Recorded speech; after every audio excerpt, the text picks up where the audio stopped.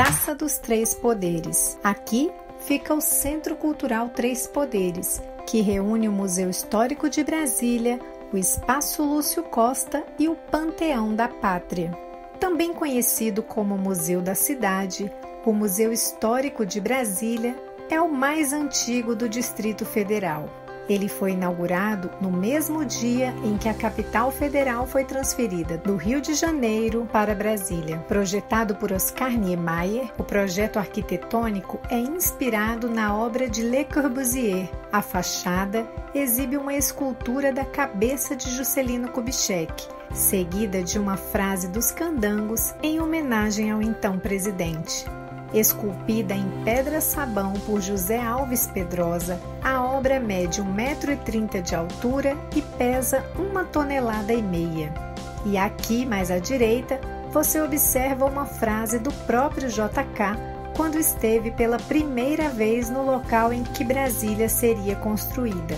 Em todo o mármore branco do Museu Histórico de Brasília estão gravadas frases de diferentes personalidades e relatos que contam o processo de interiorização da capital, desde meados do século XVIII até o dia da inauguração.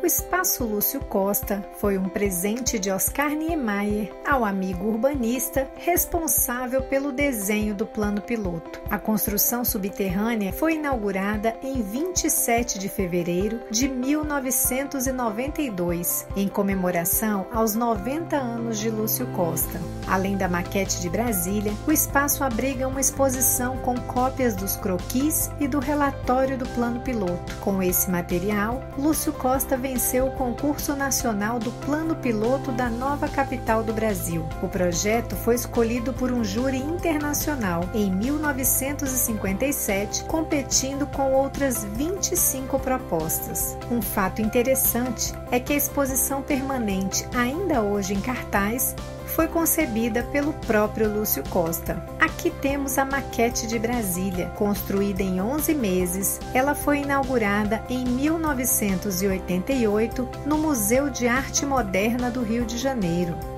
A peça retrata como era Brasília quando foi reconhecida pela Unesco como Patrimônio Cultural da Humanidade. Antes de vir definitivamente para o Espaço Lúcio Costa, a maquete de Brasília também foi exposta no Panteão da Pátria e em outras duas capitais internacionais, Buenos Aires e Praga. Desde sua inauguração há mais de 30 anos, passou por duas atualizações. Uma em 2002, quando foram acrescentadas todas as obras concluídas na cidade até dezembro de 2001 e outra em 2007, quando um de seus criadores, o arquiteto Antônio José Pereira de Oliveira, acrescentou na peça as representações da Ponte JK e do Complexo Cultural da República.